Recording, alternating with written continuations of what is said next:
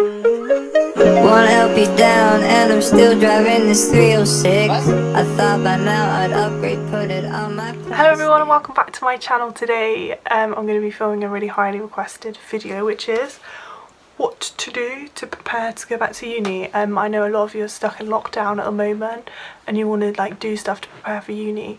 Um, in all honesty, and I, you, if you follow me on Instagram, you follow me anyway, you know that what I tried to do more than anything is to just give a really honest portrayal, my honest opinion about everything. Um, and what I'd honestly say is relax. So my first literal tip is to get some sleep. Make the most of your lions, make the most of your stress-free sleeping days because you've obviously got your offers. You know that you're going to start uni at some point. So make sure you get your full 8, 10, 12, 14, how many hours of sleep you want to get in. Relax, make the most of that comfy thing over there because once you start the degree, just your relationship will come under some strain. So yeah, relax, don't stress. This is your literal last time to chill. Um, yeah, that's number one. Number two is follow Shia Midwives on Instagram. Um, I'm not being biased, but I think we're all pretty cool. Um, but it just gives you a good idea of what other people are doing, keeps you motivated in those times, and also it will give you a good idea of what it's going to be like when you start, if you follow them now before you start, you know.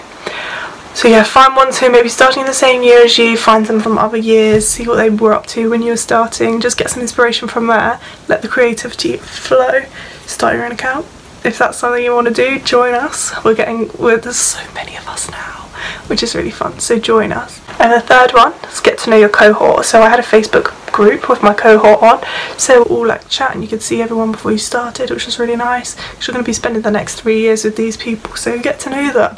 Link them on Facebook. If someone hasn't already started a Facebook group, start a Facebook group, link with them, chat, share your worries and your fears and like sort each other out, you know. The fourth one, don't buy things you don't need things. Um, I'm gonna either link a blog post that I made or an Instagram post I'm going to do about things you actually need to buy. Um, you don't need a stethoscope, you don't need a hundred books, you don't need all of that stuff. Um, I buy things as and when. Books 100% you don't need to buy, even if there's a reading list, like unless you're someone who really feels like they need a physical book right now to read, that's cool. Um, but when you start uni you'll have access to a library and online book resources so don't waste your money there because they'll be given to you for free. Um, things like stethoscopes you never need them. I bought one last year I got one for my birthday last year because I was meant to be going case loading which isn't happening now. And the last um, midwives that I worked with they wanted me to have my own stethoscope and I had a cheap one at home which I bought in first year um, which I'd literally never used until that point. So check with your placement place but to be honest because of corona you won't be going out to placement who knows when um, which is a bit mad. So don't buy things. Like don't buy shoes yet either. Um, take your time. Obviously if you've already got all these things you've already got all these things they don't want to to waste. You'll eventually need them. But you know I know what it's like to like not have like a big bulk of money all at once.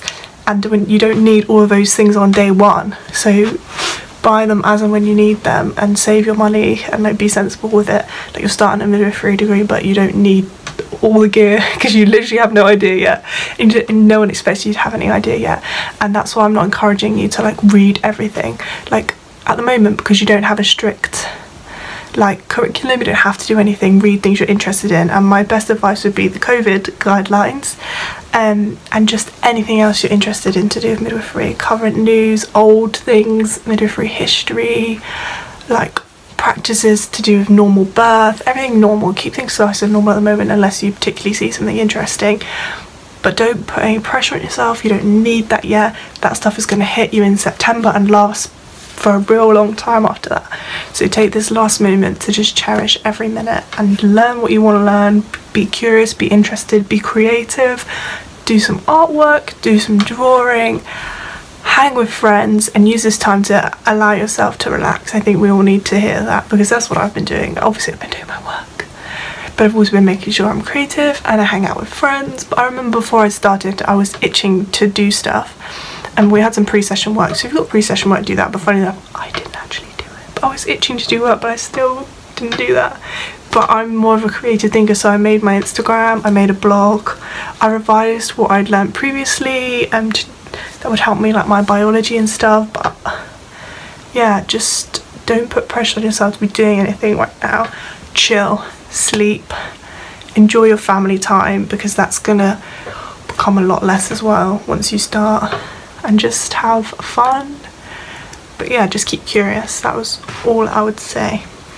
So you can DM me and say um, excuse me this was terrible advice because um, I feel like I should just be learning all the time. Cool. If you're that person who loves to learn all the time honestly I envy you. Um, but yeah do what you want chill and enjoy your time off. And this is me giving you my permission to not feel stressed I hope you enjoyed this really short video and I hope you're having a good time in lockdown. Lots of love